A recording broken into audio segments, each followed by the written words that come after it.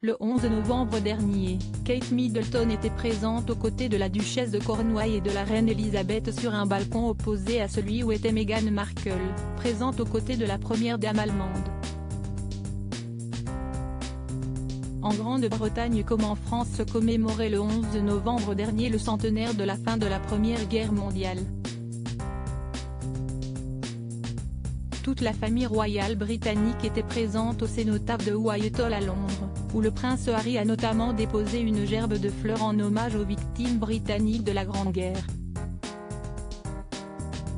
Un détail a toutefois heurté bon nombre de passionnés royaux, Meghan Markle et Kate Middleton étaient opposées l'une de l'autre, chacune présente sur deux balcons différents.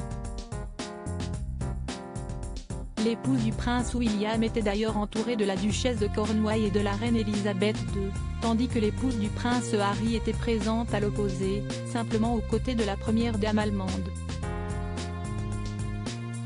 La faute au protocole comme le souligne Joe Little, rédacteur en chef du magazine Majesty et spécialiste de la royauté britannique dans des propos relayés par l'Express britannique, cette disposition est simplement due à l'ordre royal britannique. La duchesse de Cornouailles était présente sans son époux, mais s'avère être la reine consorte héritière du Royaume-Uni. Kate Middleton, elle, arrive juste après aux côtés de son époux William dans l'ordre protocolaire. Meghan Markle, elle, est en réalité bien moins classée.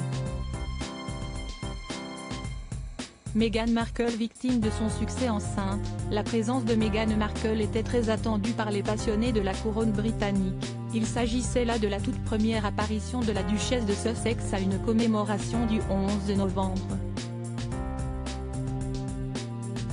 Joe Little est d'ailleurs convaincu que la déception des Britanniques était forcément due à cette si grande attente, Meghan n'est pas aussi importante que ce que certains pourraient espérer. Il existe un ordre hiérarchique explique-t-il. La popularité de Meghan prévaudrait-elle sur tout le reste?